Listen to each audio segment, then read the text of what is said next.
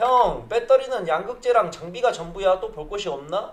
아니야 또 있어. 특히 이제 최근에 이제 2차 전지 실리콘 음극재가 또 요즘 상용화될 수가 있다라는 소식이 계속해서 좀 들리고 있는데 이게 좀 핫해 실리콘 음극재 상용화 부분에 대해서. 제가 봤던 것 중에는 가장 좀 놀랐던 수치가 이 실리콘 음극재가 연평균 76.6% 성장하며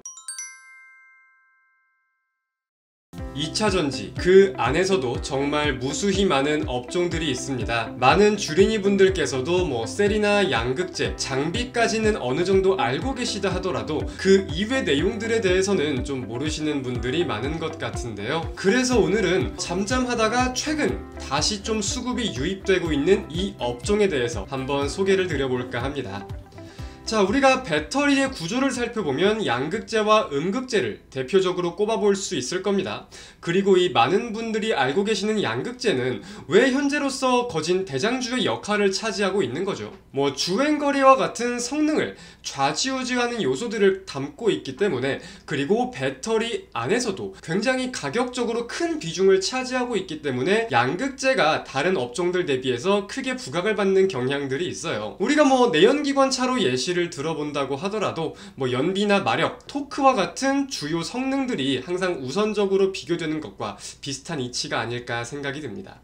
그리고 우리가 바로 옆에 또 살펴볼 수 있는 게 음극재입니다. 양극재는 용량이나 평균 전압을 결정한다고 하면 이 음극재는 충전 속도 그리고 배터리의 수명에 영향을 미치는 요소예요. 우리는 그 중에서도 오늘 최근 화두에 오르고 있는 이 실리콘 음극재에 대해 간단하게 한번 살펴보도록 할 텐데 자 현재 전기차 어떤 우려감들이 있다고 생각을 하십니까? 대표적인 요인들을 꼽아보자면 첫 번째는 화재 발생에 대해서 그리고 두 번째는 충전 인프라 그리고 충전 시간에 대해서 많은 분들이 우려감을 갖고, 계시죠 그래서 1번 화재와 관련해 가지고는 현재 이제 LFP 배터리의 채택률이 증가한다거나 전고체 배터리 양 산에 대한 기대감이 지속되고 있는 상황입니다. 그리고 우리가 오늘 주목해 볼 포인트는 이 2번 충전 시간과 함께 살펴볼 필요가 있을 텐데 자 음극재 현재 가장 많이 상용화가 되어 있는 건 흑연 음극재입니다. 뭐 천연 흑연, 인공 흑연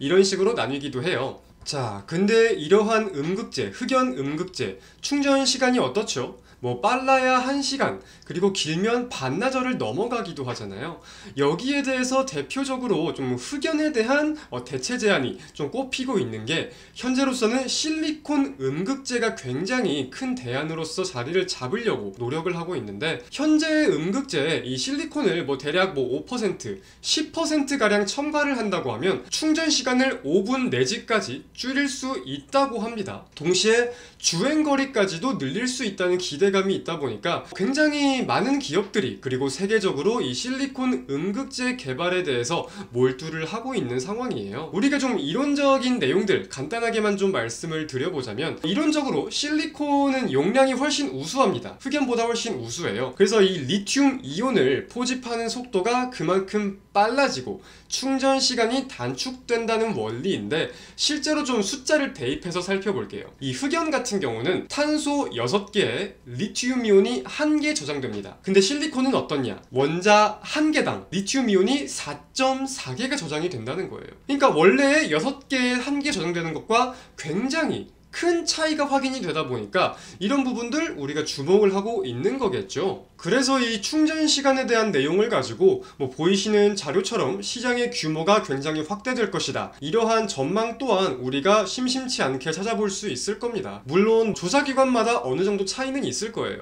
제가 봤던 것 중에는 가장 좀 놀랐던 수치가 이 실리콘 음극재가 연평균 76.6% 성장하며 27년에는 기존의 천연 흑연 염, 음극재를 넘어설 것이다. 이런 전망들까지 확인이 되고 있더라고요. 그러면은 지금까지 내용들만 들어본다고 하면 굉장한 game changer이지 않습니까? 엄청나게 혁신적인 내용인데 왜 바로 상용화가 되지도 않고 어찌 보면 테마성으로 움직이는 영향들이 있느냐? 한번 이거를 살펴볼게요. 두 가지 대표적인 요인들이 있습니다. swelling 현상 발생과 가격이 비싸다는 점이에요.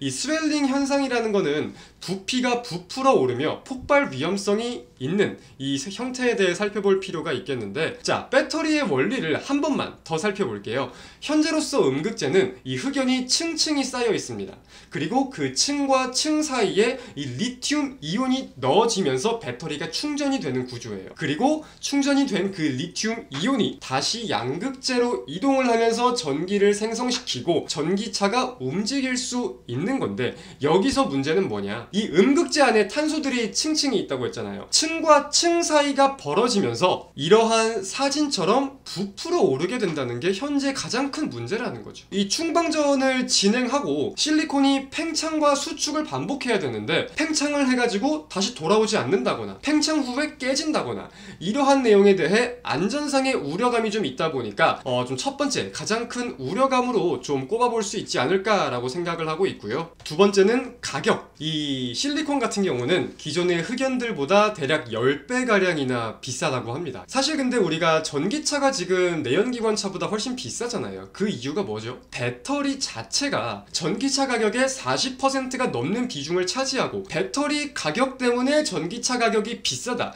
이런 표현을 사실 생각을 안 해볼 수가 없 잖아요. 그래서 글로벌적으로도 이 저가형 전기차에도 점차 어, 혈안되어 있는 상황이고 LFP 채택률이 늘어나고 있는 상황인 것도 맞다고 우리가 판단을 할 수 있을 거고 그런 가운데 실리콘 음극재 극 하이엔드 전기차에만 넣을 수 있을 텐데 과연 돈이 많이 되겠느냐? 이러한 우려감이 있는 상황이라는 거죠. 물론 뭐 이 가격에 대한 거는 전고체 배터리도 마찬가지이기도 합니다. 별도로 현재 뭐 포르쉐 타이칸 같은 차 실리콘 음극재가 공급되고 있는 차량인데 그래서 뭐 대중화와 관련돼 가지고는 관련된 연구개발 내용이나 추이를 꾸준히 지켜볼 필요가 있을 것 같아요. 근데 이러한 와중에 최근에 다시금 부각을 받고 있는 이유는 그럼 뭐가 있겠느냐 긍정적인 기사들이 굉장히 많이 올라오고 있어요. 대표적으로는 한국의 울산 울산과학기술원에서 실리콘 음극재의 분석 프로토콜을 제시했다. 그리고 특성과 문제점을 찾아냈다. 이러한 내용이 발표가 되면서 기대감이 확대가 되었는데 동시에 굉장히 수많은 대기업들이 이 실리콘 음극재 시장을 침투하려는 모습들을 보이고 있습니다. 그래서 이러한 내용들의 내년 하반기에는 상용화가 될 것이다. 라는 전망까지 나오고 있는 거고 시장에서 다시금 수 급이 유입되고 어느 정도의 기대감이 좀 부각되고 있는 상황이 아닌가 라고 판단을 해볼 수가 있을 것 같아요. 현재는 이 흑연 음극재 실리콘이 5%가량 들어가는 수준의 기술력을 보유하고 있다고 합니다. 그리고 여기서 가장 중요한 목표는 10%고 뭐 일각에서는 20%까지 올려야 대중화가 가능하다.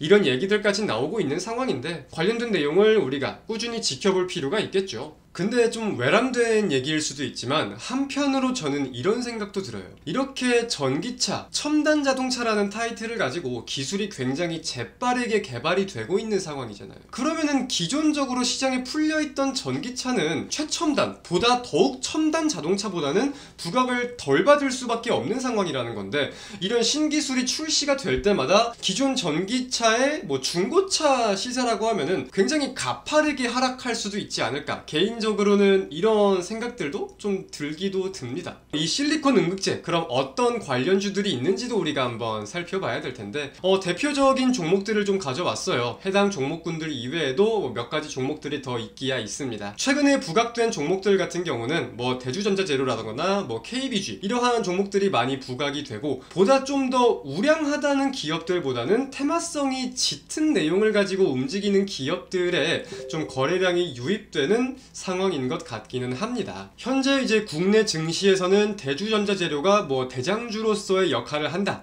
이러한 내용들이 분석글들이 많이 올라오고 있는 상황이고요. 뭐 별도로 LG화학 같은 경우는 실리콘 100% 첨가를 목표로 하고 있다고도 합니다. 아까 제가 뭐 5% 10% 말씀을 드렸는데 굉장히 좀 어찌 보면 괴리감이 있는 내용이죠. 그래서 이제 오늘 영상은 많은 분들이 이제 2차 전지에 관심을 가지시는데 어떤 분야가 있는지 어떻게 공 부를 해야 하는지 모르시는 분들이 많은 것 같아서 어, 좀 영상 촬영을 한번 해보게 되었습니다. 절대로 매매를 권유하는 내용이라기보다는 어, 이러한 내용도 있으니까 한번 공부해보자 라는 취지의 영상임을 분명히 인지해 주시고 언제나 오늘처럼 그리고 어제처럼 우리 개인 투자자분들을 위해 노력할 수 있는 이호수가 되도록 하겠습니다. 감사합니다.